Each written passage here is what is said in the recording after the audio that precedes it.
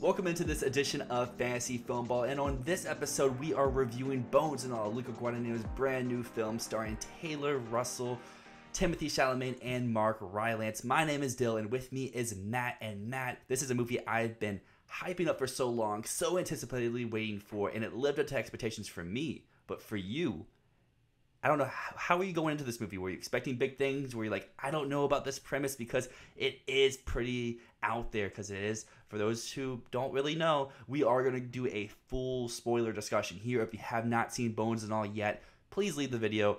I don't care about watch time. I don't care about views. I want you to see this movie because this movie is either my favorite or my second favorite of the year, and I've seen like 110 movies that have came out this year. So that's a huge recommendation for me. Then come back and listen to both of us talk about it. But yes, Bones and All, great movie. Cannibals, road trips, love, everything. Did you like it? I I did like it. I didn't like it as much as you did, though. Uh, so for for Bones and All, uh, this is one that I was anticipating, but I I'm not gonna say I was like the most anticipating this one. I am so squeamish with anything with cannibals.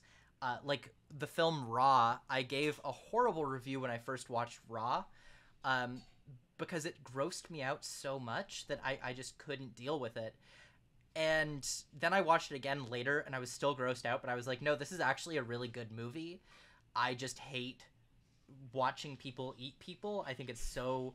I can't do it. I can't do it. And so uh, when it came to this movie, I wasn't really fiercely anticipating it because I know how much I um, uh, am uncomfortable with cannibal movies. I'm not a cannibal movie guy. You know, weird, right? I don't love seeing Whoa. people eat people. What what a weird thing. Um, but no, I mean, I I think Luca Guadagnino has had some fantastic films over the past few years, and I'm always interested to see what he does. Uh, and you know, the the entire concept of it being a love story between Taylor Russell, who is one of the best Canadian actors. I need to claim Taylor Russell right now, Canadian actors out there. Um, who gave one of my favorite performances of the 2010s in Waves, which is again just an, an incredible film, and Taylor Russell is so good in it. Plus Timothée Chalamet, who is obviously incredible actor. So those two coming together for Luca Guadagnino doing a horror romance, yeah, very intriguing. Uh, but again, I still have reservations with the whole cannibal thing. I, I I'm gonna be honest. I am biased against cannibals. Um, and part of that, you know, I, I was really squeamish during a lot of this movie. So I I know you gave this a, a strong 10 out of 10. Uh, but for me, I would actually say, personally, I, I gave this film a light 7 out of 10. Um, there was a lot that I really liked about it. But personally, I would say that this is, if I were to rank Luca Guadagnino's films, I'd go Call Me By Your Name, Suspiria, I Am Love, Bones and All, and then a bigger splash at the very bottom. So it's my second from the bottom Luca Guadagnino film, and I'm I'm so sorry about that because I know you loved this film so much. I did. Bones and All really kind of hit everything I wanted it to be, which is kind of weird because I wasn't really expecting much going into this. Um, but I really, I shouldn't say expecting much. I kind of went in with an like an open mind, not really thinking about anything. Uh, just really opening myself up to it because I have not read the book, but I know someone who has. Like I am very much encouraged. I'm like, hey, read this book so then when we see the movie, you can tell me what was accurate, what wasn't accurate. And I think a lot of the switches they made from the book to film were very much for the positive for the story because I think um, to counteract your point because I but I mean not even counteract just to be a little bit different. Yeah. I know everyone's interpretations to everything is a little bit different. For me, I've never really been squeamish to blood or to horror or to violence. I often find that my favorite movies and my least favorite movies are in that horror genre because I think horror is either something you can do amazing or you can just really shit the bed and be bottom line and be like awful. But I think Guadagnino and company here really knock out the park. Taylor Russell does a beautiful job portraying Maren and they're in such like a compelling, engaging, and emotional, relatable fashion. Like even though obviously not a cannibal, you're not a cannibal, but I can really connect and resonate with her character of isolation and feeling like abandonment, but also finding yourselves in others, but also being a little bit wary and scared of other people, even though they are like you, but they're not entirely like you. And like you said, she keeps proving why she's one of today's best working actors. Uh, Waves, her performance in Waves was my favorite supporting performance of the year. Maybe it was a lead, maybe it was supporting. It's one of those borderline. This one, she's clearly a lead. I can't wait to see what she does next. Chalamet does Chalamet stuff. He looks cool, he acts cool, he does cool stuff. But for this movie, as much as I love Taylor Russell, praise her, there's one person who just absolutely steals this movie. Every time they pop up, they pop up like three times, and you can never take your eyes off of them because you know life is never dull or sully because mark rylance is the greatest of all time. He's becoming one of my favorite actors. This is like his third fourth straight performance where he's doing such a weird character so off the walls but it works so well. Like i don't understand how Yeah. he nails like the mannerisms of just like so hunched or so like just off-putting. It's like your squeamish my squeamish came from like his body not so much of eating or biting. It was the whole like his posture and how he just mannered himself and how he was so not I don't want to say relatable, but you cared for a character that was so like evil and despicable because he wasn't evil naturally. The world kind of made him evil from being isolated, no one being around, and you feel for him and you feel bad that all this stuff is happening to him, but he's still like the antagonist and like the villain of the story. But to end my long ramble rant, the text in this movie amazing. That I could only highlight one, it would be the score from Reznor and Ross. Uh, they always do good work, but if I dare to say, this is their best work. Uh, did you have a favorite tech, and Ooh. if so, which one was it? Ooh. Um I mean that's a that's a really hard question. I I liked the score. I didn't love the score, and I, I think it is very bold to say that it's Reznor and Ross's best work when they did Boldness all Soul, when they did the Social Network, when they did the Girl with the Dragon Tattoo, um, even like Watchmen, I think is is a stronger score. I really liked the guitar piece that played, you know, every time they were in the car. I think that was great. But the more ambient stuff didn't really do it for me here. Uh, actually, I wouldn't even say that this is Reznor and Ross's best score of the year. I prefer Empire of Light's score. Uh, I don't even like Empire of Light, but I thought their score there was quite good. Um, but yeah, I mean, I think that the makeup they did a fantastic job with, uh, and and production design. I I would want to shout out production design a little bit there. Um, but yeah, I mean, overall, no, none of the text really stood out incredibly strongly for me.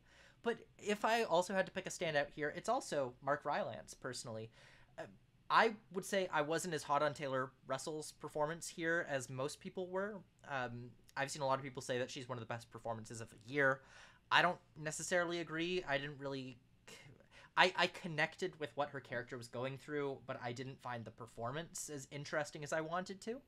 Mark Rylance, I thought, you know, he did it really well, albeit it did feel like he was doing um, a Herbert the Pervert impression, uh, impression from Family Guy, like a lot of the time. But outside of, of the corniness of basically being like, Hassan, do you want some popsicles? Outside of that surface level thing, he did some really interesting stuff with his facial mannerisms that really just showed that um, he wasn't making the choices with his mind, he was making them with his whole body. And, like, what I'm talking about is there's this moment in the film, there's this stunning goddamn moment um, where it's a close up on Mark Rylance's face and a little dribble of spit comes to the front of his mouth and he starts to drool. And you, as an actor, how do you do that? How the hell do you do that as an actor? Like in one close take, like salivate and slobber. Um, like he he Pavloved himself there. I, I, what the hell? That was such a, a great moment. But yeah, I mean, overall, I I think you you've said to me that um, Mark Rylance is your number one supporting performance of the year. Personally, I wouldn't put him in my top ten, but I think he had some moments that were just like, yes, this is why Mark Rylance is one of the best working actors right now. Definitely, um, fully agree with that statement of one of the best working actors. The other tech I really want to give a shout out to, in addition to the ones that you mentioned, the editing. I thought there was some very inspired editing choices here. And for a movie where not much happens at various points, the movie never felt like it was a slog or was a dull. It felt like the story was, at least for me, continuously progressing the whole time at its own pace.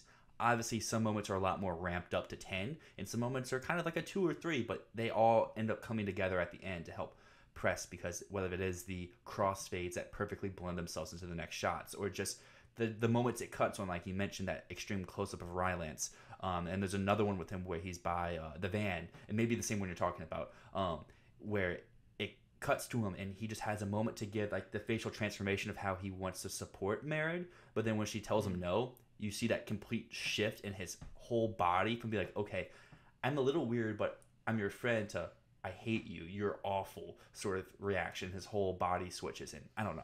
I really love this movie. I understand why some people may be off of this movie, uh, but mm-hmm. that's the beauty of cinema. beauty of yeah, cinema.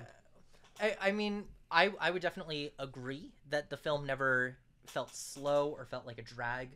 But part of why I gave this film a, a light 7 out of 10 is because I feel like the story at times feels a little bit aimless. And that kind of comes with the territory of being a road trip movie, of being a movie where the main character doesn't really know where she's going or doesn't know what she wants, and she stumbles upon these things in the way, and people weave in and out of the story. But the thing that I felt about this is that I, I felt that there was at times a bit of a lack of an overarching goal, uh, a bit of a lack of an overarching conflict. Um, really, that's what it is. I didn't feel like the conflict continued through the film in a really satisfying way. Like you said, Mark Rylance, Sully is the antagonist of the film, but I don't. I didn't feel like he was the antagonist. He was just a character that showed up a few times and you know was creepy and then would disappear. But I think if you have an antagonist, you want them to be like a thematic through line to the film. And personally, I didn't really feel like I got that out of the movie. Um, but that said, it was never boring. It was always interesting. I really loved the character interactions between Timothée Chalamet and Taylor Russell's characters. Um, but I just I just wish that there was a little bit more narrative cohesion through the film um, and I think that's that's why I felt a little bit distant from it. Mm-hmm. I would say to maybe help if you ever do decide to rewatch this. Uh, to me, the antagonists are themselves because it deal at least to me what I got out of it was learning self love, comb- combating with self hate because there's things that you're born with that everyone has. You're born with whether it's your nose or your eyes or something that you just don't love or you don't like about yourself. For these people, they're cannibals. Uh, but so it's the extremists. So like throughout the movie, there's various times where like they have to make decisions where they are not happy with them, but it's what they have to do to live. And then just Mark Rylance is just like the at the end the accumulation of what the worst decisions you can make with your life are compared to how they end up deciding to live with essentially plain house in that last act. But right. similar to you, I would say a seven is about equivalent to a B, and that's what this movie got from Cinema Score, which I think is a great reaction for this type of movie. I saw a lot of people online saying this is a C, this is a D type Cinema Score movies, like some horror movies do get. Um, however, with it being like it seems like audiences are more receptive to this, I know I've mentioned in the show in the past, I could see an angle for a best adapted screenplay with how weak that category is. Because I mean, you have women talking at one, she said at two, glass onion at three, and you have like two open slots. What to do with them? You have a Pinocchio, you have a Maverick, you have a Whale. Uh, now it looks like maybe you have a Bones and all. Do you think this is a sole screenplay nominee, or do you think this is nothing? I this is nothing. This is absolutely nothing. If if it gets anything, it would be makeup. Um, but I mean, I just do not see any world and, I'm really sorry to rain on your parade here. I wouldn't put this in my top 10 for screenplay. I wouldn't put this in my top 15 for screenplay. It is so dark. It is so grotesque. Like, you know, I think those are the best descriptions for it. And it's so bloody and hard to watch and at times repugnant um, that I, I can't, I can see a lot of Academy voters turning the film off before mm-hmm. getting through it. Um, I think a lot of the people that went to see it on the opening weekend are the people that are down for this type of movie. You know, uh, are people who are up to seeing um, massive amounts of blood and gore. I I think similar to Titane last year, where people thought, oh, could this get a directing nomination? Could this get uh, international feature?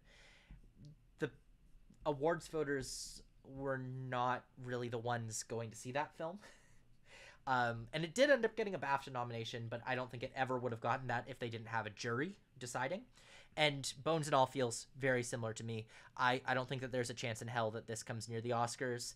Um, if anything, you know, this will be one where in 10 years people will look back and say, yeah, we screwed up. This one was better than than the Oscars treated it. But again, you know, Luca Guadagnino, he made Suspiria a few years ago, and that film didn't scratch the Oscars. Um, I've had this talk many times. Just because you're an Oscar nominee one time doesn't mean you're going to continue to be. And you know, uh, he had Call Me by Your Name, and then Suspiria, and then this, and I, I don't think that I don't think that this one's coming near the Oscars. No, I, I definitely agree. Um, I think the only chance would be for adapted. I don't think Rylance is a player. I don't think that Makeup is a player just with how tough this year is because you have like the normal best picture like front runner candidates and then you throw in like a Wakanda Forever or a Woman King that can take up some more of those populist or inspired type choices. But like my point with cinema score was just showing like in the past horror movies that because you mentioned like people who go opening night are the people who are down for it. Like Hereditary got a D plus. Um, Men from earlier this year got a D plus, and then if you look back just a little bit, The Witch got a C minus, and like Malignant yeah. got a C. So it's not always like that's what I was just saying. With horror movies, usually they don't really do well, even with the crowd that normally goes from. That's why I was like, this one seems to be doing a little bit better, so there's maybe a shot, but still not something I'm willing to put money on. Well, the thing with those movies that you mentioned, Hereditary, Men, The Witch, those are movies like my my partner's uncle is one of the biggest horror fans ever. I mentioned Hereditary to him and he's like, "I hate that fucking movie. I hate it so much." Huge horror fan. And it's because those films that you mentioned, those are all very elevated horror. They're movies that they take the horror genre and they don't they don't really go for the horror until the very end. It's just a mm-hmm. lot of paranoia. Whereas Bones and All I think delivers on the horror throughout. Uh, you come in knowing you're seeing a cannibal movie, and it delivered on a cannibal movie. Cinema Score, if anything, I think Cinema Score is a, a great uh, way to demonstrate how much a film, not how good a film is, but how much a film delivered on its promise.